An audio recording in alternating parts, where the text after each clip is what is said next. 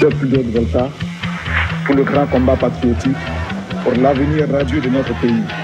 La patrie ou la mort, nous vaincrons.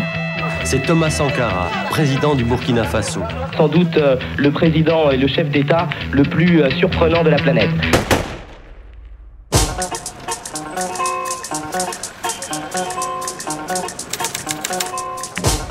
Ce n'est pas facile de s'attaquer à de tels préjugés, à de telles conceptions. Regardez dans vos assiettes, quand vous mangez, les grains de riz, de maïs, de mil importés, c'est ça, c'est ça l'impérialisme.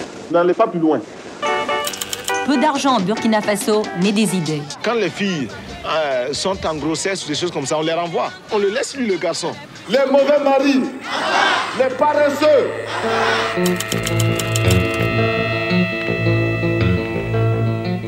Comme euh, Sankara en avait assez d'attendre l'aide des autres, eh bien, il avait décidé de se servir. Et un des épisodes les plus rocambolesques avait été quelques semaines après la tentative par Sankara de voler carrément un Boeing 727 à la Libye.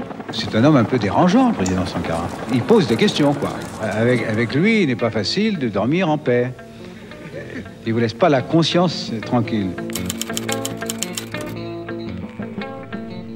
Qui ici ne souhaite pas que la dette soit purement et simplement effacée? Celui qui ne le souhaite pas, il peut sortir, prendre son avion et aller tout de suite à la Banque mondiale payer.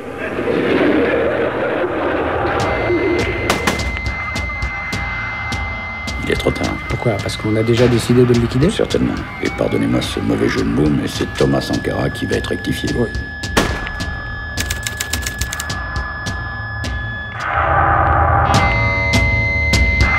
Je vais vous montrer que je suis prêt contre l'impérialisme.